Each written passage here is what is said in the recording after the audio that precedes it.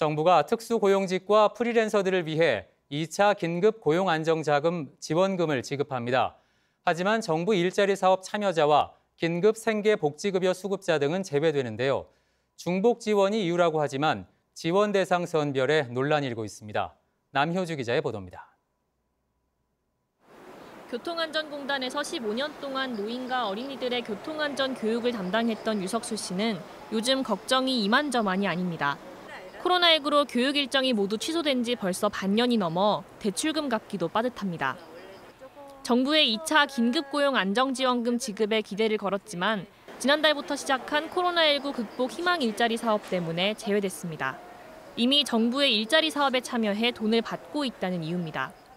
대구시 지원금 또 이제 어, 나라에서 주는 거 이런 거 가지고 버텨왔는데 이제 지금은 이제 그거 안 들어오면은 뭐 이자 내는 거라든가 관리비 내는 것도 지장이 있어요. 고용노동부의 2차 긴급고용 안정지원금 지급 대상은 크게 두 가지입니다. 1차 긴급고용 안정지원금을 받았던 특수고용직, 프리랜서는 추가 50만 원을 받을 수 있고 1차 때 신청을 하지 못했다면 150만 원을 받을 수 있습니다. 다만 대책을 발표한 9월 11일 기준으로 고용보험에 가입되어 있거나 정부 일자리 사업 참여자, 긴급 생계복지급여 수급자는 제외됩니다. 하지만 코로나19 장기화 속에서 한시적 지원을 받았다는 이유로 지급 대상에서 제외하는 것은 이해하기 어렵다는 지적도 나옵니다. 또 지급 기준 시점에 따른 형평성 문제가 제기될 수밖에 없습니다.